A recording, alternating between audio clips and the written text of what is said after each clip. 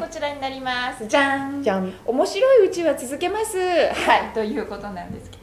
はい。まあさっきちらっと出ました。あのはい。夏冬ね意外とそのお客さんの入り方がね極端らしいんですよ、はい。うん、えっ、と海の家と呼んでいます。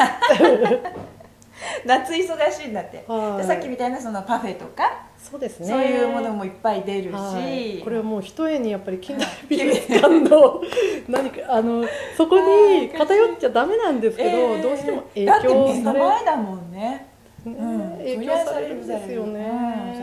ね。はい、うん。というわけで、まあ、夏場あちらが忙しい分こちらも忙しくてはい。冬場あちらが暇な分こちらも暇になああ、うん、分かりやすい。ところると、が、ということなんですよね。ありましてね。はい。なのであの営業時間とかもその夏冬若はい。干ちょっとずつちょっとだけね、もうちょっえとー違ったりもしますけれども、はい。えーホームページ等々でこうお問い合わせ下に貼っときますから、はい。なんかあのー今やってて面白いなと思ってることどうですか、はい。これからも続けたいの、はい、あの日記っていうものはあんまりつけないんですけど、うん日記代わりなはい。ものっていうのがありまして、うん。それが、えっと、トイレに貼っているうん。カエル屋の新聞という、カエルや新聞。はい。えっでと、B5 サイズ違う英語サイズ、はい、はい。そんなよううん。なちっちゃい、あのベージュ色はのい。クラフト紙に 私が手書きでうん。一発勝負でうん。あの筆の、えっと、ペン筆ペンですうん。ね筆ペンで、えっと、週に1回発行している。週一ですか？そうです。なかなかですね。いやーなんか毎日書けと言われれば本当？かけます。はい。っていうぐらい緩いんですよ。要するに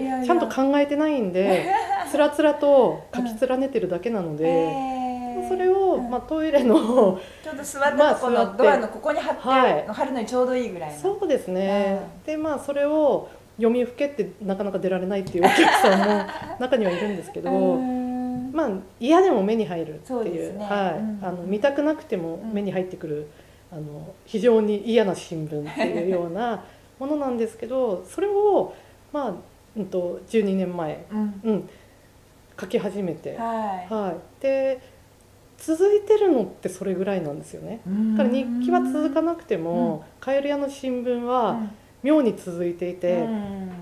でこれ文才あんのかなっていうふうにうん。思って、あ今後やるなら小説家かなかなお思ったりとかして。へ嘘です。ー いやわかんないよ。もねわかんないよ。つつ。本当本当そのだから文章を書くという喜びはもうでこれがすごい続いてるんです。もう554枚あるんだって。はいそうなんです。うん。やっぱりそういうでも継続するとね、自分でもこまあ。うなんかこうなんですかペンのこうリズムというか。いやそこまでは週に1回じゃちょっと無理かな。えー、そう、はい。えー無理じゃないですかね。そうですかね。はい。やっぱり1日554枚ぐらい書かないと やっぱりねそうなの？はい、ペン慣れはなかなか、えーしないのかなみたいな。でもなんかはい直筆で書いたすごくねやっぱりおしゃれなさすがに、えー新聞でございますが。あれってお客さん欲しいって言ったらもらえるんですか？ありません。ないですね、はい。ここにカードでもに貼はい、うん。貼ってそれを全部ファイリングして、読めとうん。いうことで、はい。店内に置いてありますんで、バックナンバーファイリングされてるはい。あの先ほどの北大の、えっと、授業での一環のことあ。とかも全部、はい、書いてますんなで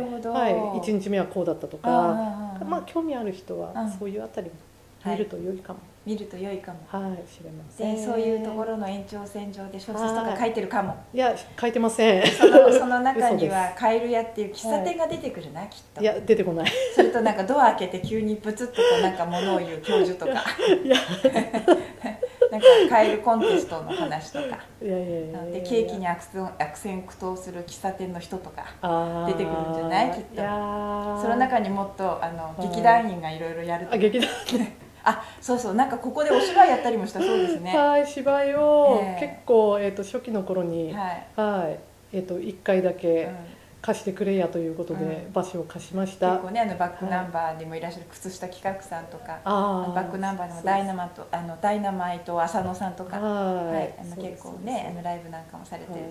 ちょっと雰囲気あるもんね。あそうですうん。か、これですか？内装ねあの、はい。自分たちで自分で内装したそうですよ。作ったそうですうね。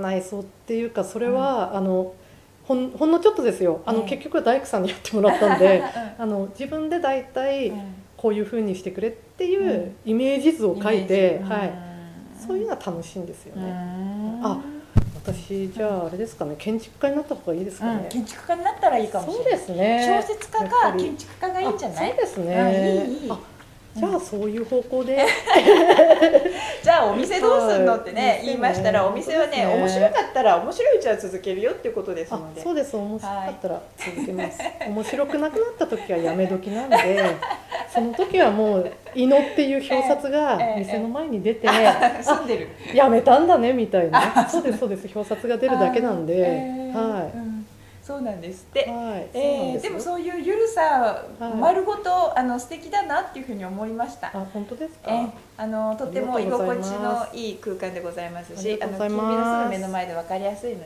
ね。冬に来てください。そうだ冬に来てください。たくさんのカエルに囲まれて今日はお送りいたしました、今日のゲストはカエルやコーヒー店オーナーの井野優子さんでした。ありがとうございました、どうもありがとうございました。さようなら